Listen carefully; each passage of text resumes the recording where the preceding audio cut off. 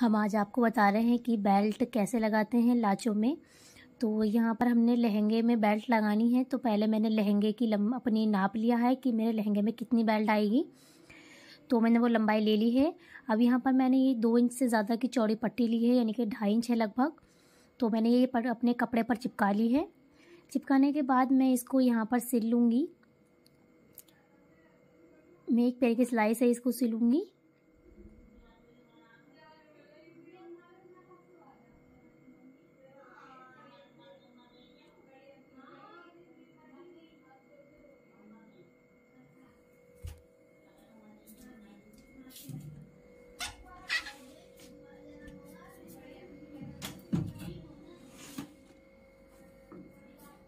इस तरीके से मैंने ये सिल ली है एक साइड से। अब यहाँ मैं इसको पलट दूँगी। ध्यान से देखें कि मैंने इसको इस तरीके से लम थोड़ा चौड़ा कपड़ा लिया था तो इसी पर पलट दिया है। यहाँ पर जोड़ भी नहीं आएगा और ये अच्छा लगता है इस तरीके से। सेम इस तरीके से बिल्कुल बराबर में मैं सिलाई मारूँगी। आपने देखा होगा, मैंने आपको अपनी पहली वीडियो में कफ़ बनाने सिखाए हैं। तो बस ये उसी तरीके से बनती है पट्टी। तो इस तरीके से मैंने वहाँ उधर साइड भी सिलाई मार ली है। अब इधर साइड भी सिलाई मार लूँगी। ये दोनों साइड मैंने सिलाई लगा ली है। मैंने इतना एक्स्ट्रा कपड़ा कटिंग किया है तो इसका भी रीज़न है, मैं आपको आगे बताऊँगी। यहाँ पर आपको थोड़ा थोड़ा कपड़ा कटिंग करना है, जितना मार्जिन लेना है कि यहाँ पर जब हम लाचे में रख के इसको सिलेंगे, उस हिसाब से। लेकिन साइडों को आपको इतना ही छोड़ना है जितना कि मैंने इसमें छोड़ा है। अब हम इसको पलट देंगे। इसके कोने अच्छे से निकाल लेने हैं दोनों साइड से। देखिए इस तरीके से। यहाँ मेरा अच्छे से फिनिशिंग से हो गया है ये। अब मैं यहाँ पर जो ये सिलाई है, अपनी इस सिलाई को लगा लूँगी। एक पैर की सिलाई लगानी है मुझे यहाँ पर भी, जैसे मैंने इधर साइड लगाई है, सेम इस तरीके से।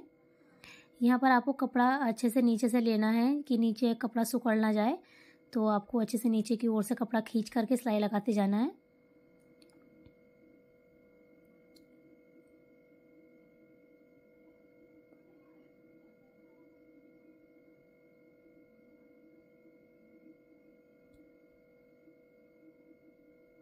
देखिए, इस तरीके से सिलाई लगा ली है हमने।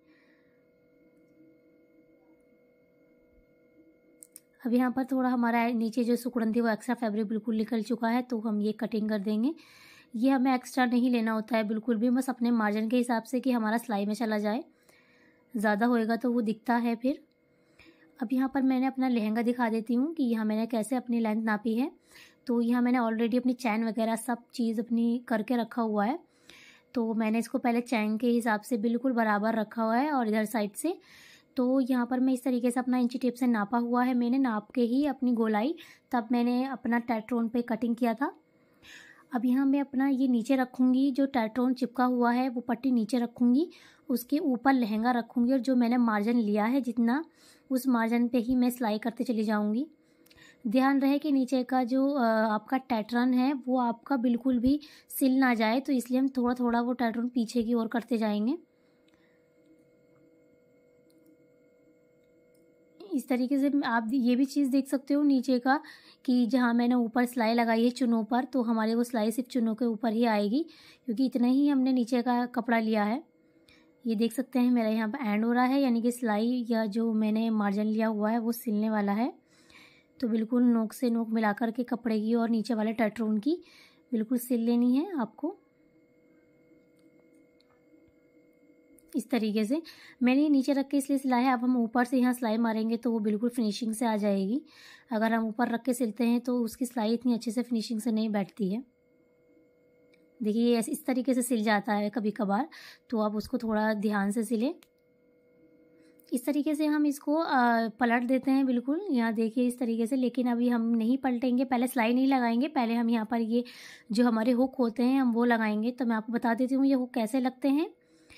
तो पहले हम ये जो हमारा छोटे वाले हुक होते हैं, जिनमें हम अपने हुक, बड़े वाले हुक फंसाएँगे तो पहले वो लगाएँगे।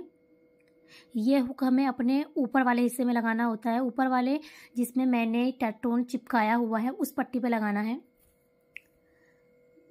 इस तरीके से जो मेरे ये छोटे वाले होते हैं तो उनको हम अच्छे से पैक कर देंगे छोटे वालों से ही। ये हुक आपको मार्केट में दुकानों पर अवेलेबल अच्छे से मिल जाएँगे। तो यहाँ पर हम इन हुकों को लगा देते हैं।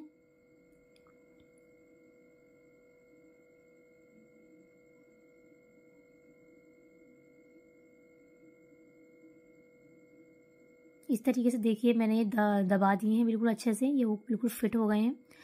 अब हम जब दूसरी साइड हुक लगाएँगे, इनको दबा, इस तरीके से टच करने के लिए तो यहाँ पर हम ऊपर की साइड नहीं लगाते हैं, नीचे की साइड लगाते हैं। जैसे कि मैंने आपको बताया था, ऊपर पर टैट्रोन वाले में लगाते हैं उधर, यहाँ पर हम नीचे की साइड लगाते हैं। तो जो मैंने एक्स्ट्रा कपड़ा लिया था, यानी कि मैं आपको बता रही थी कि उसका अभी क्यों एक्स्ट्रा ले रहे हैं तो वो इसलिए लेते हैं कि यहाँ पर हमारा बहुत नरम हो जाता है कपड़ा, कुछ होता नहीं है। तो हम इसमें कपड़ा एक्स्ट्रा ले लेते हैं तो वो थोड़ा भारी हो जाता है, जिस तरीके से वो अच्छे से फिट हो जाएँगे। इस इसलिए हमने एक्स्ट्रा लिया था। अब यहाँ पर हम इसको अच्छे से दबा दिया है। ये इसमें टच हो जाएँगे। इस तरीके से। लेकिन अब अब इसमें हम पहले सिलाई लगाएँगे। तो यहाँ पर हम अपने बिल्कुल बारीक, बिल्कुल नोक पर सिलाई लगाएँगे। यहाँ पर एक पैर की सिलाई नहीं लगाएँगे, क्योंकि एक पैर की सिलाई हमने ऑलरेडी लगा के रखी हुई है इसमें। अब हम चुनों को अंदर की ओर करते जाएँगे। अब इकसार इकसार आपको अंदर करनी है चुने। और बस यहाँ पे बिल्कुल लेवल में सिलते जाना है। तो ये हमने यहाँ पर इस तरीके से ये लगा लिया है, बिल्कुल अच्छे से एडजस्ट कर दी है हमने इसमें। यहाँ आप देख सकते हैं, ये हमने हुक भी लगाए हैं तो ये पहले हुक इसमें टच करेंगे।